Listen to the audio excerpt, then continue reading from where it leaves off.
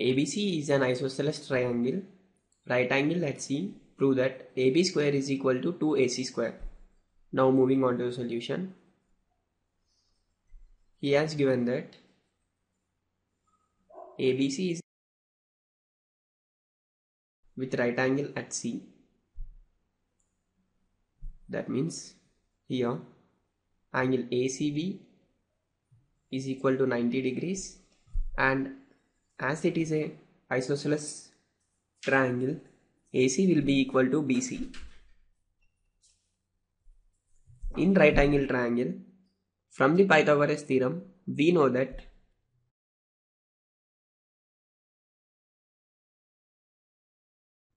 square of hypotenuse is equal to sum of squares of other two sides. So here we get hypotenuse square that is AB square is equal to sum of squares of other two sides that is AC square plus BC square which is equal to AC square let it remain as it is.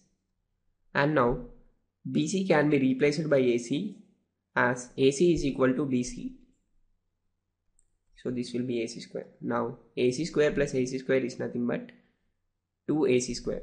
So finally we got that AB square is equal to 2 times AC square. This is what the required proof for us.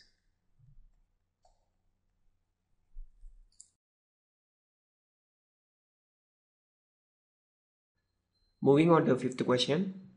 ABC is an isosceles triangle with AC is equal to BC if AB square is equal to 2AC square. Prove that ABC is right angle triangle. Now moving on to the solution.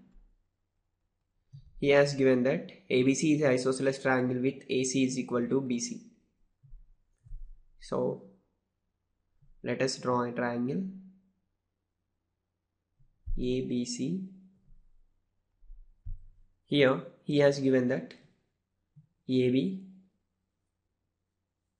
square is equal to 2AC square and he says that AC is equal to BC.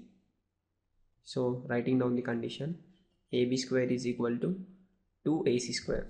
That implies AB square is equal to now let us write 2AC square as AC square plus AC square which is equal to AC square plus we know that AC is equal to BC so let us replace it. Then we get AB square is equal to AC square plus BC square.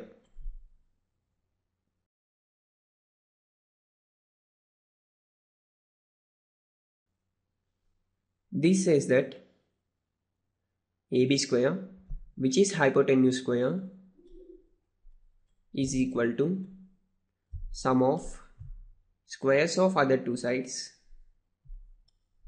So we can say that given ABC is right angle triangle